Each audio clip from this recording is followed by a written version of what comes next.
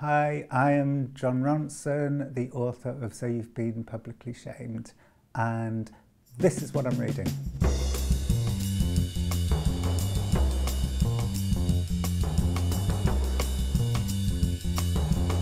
My first choice is a book that I've I literally just finished a couple of days ago, and it's called Some Fantastic Place, and it's it's a memoir uh, by Chris Difford, who is one of the singers in uh, the post-punk band Squeeze. It's just a story about him growing up in London and having, you know, modest success. Squeeze were never like enormously famous and then, you know, getting getting too drunk and falling into depression and then finding his way out again. It's not a kind of snazzy read, you know, he does, he rarely goes, he rarely reaches for kind of clever sentences, but what it is is just it's so wrenched from his heart. Pretty much everything that's been written by George Saunders. I, I guess a good starting point would probably be his first collection of short stories.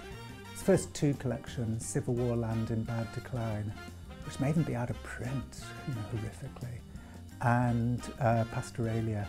A lot of it's set in crumbling dystopian theme parks of the near future where people have to pretend to be cavemen and cavewomen, and if they kind of break character and and and talk like humans, they're uh, you know punished. Um, they're not given a goat for dinner that night. So there's a British pop singer called Robbie Williams, and this author Chris Heath has written these two epically long books about Robbie Williams. The first one's called Feel, and the second one's called Reveal. You know, if you saw the book in the bookstore, you'd just see a picture of Robbie Williams like lounging like that, and you think, oh God, not another, you know, annoying pop star biography.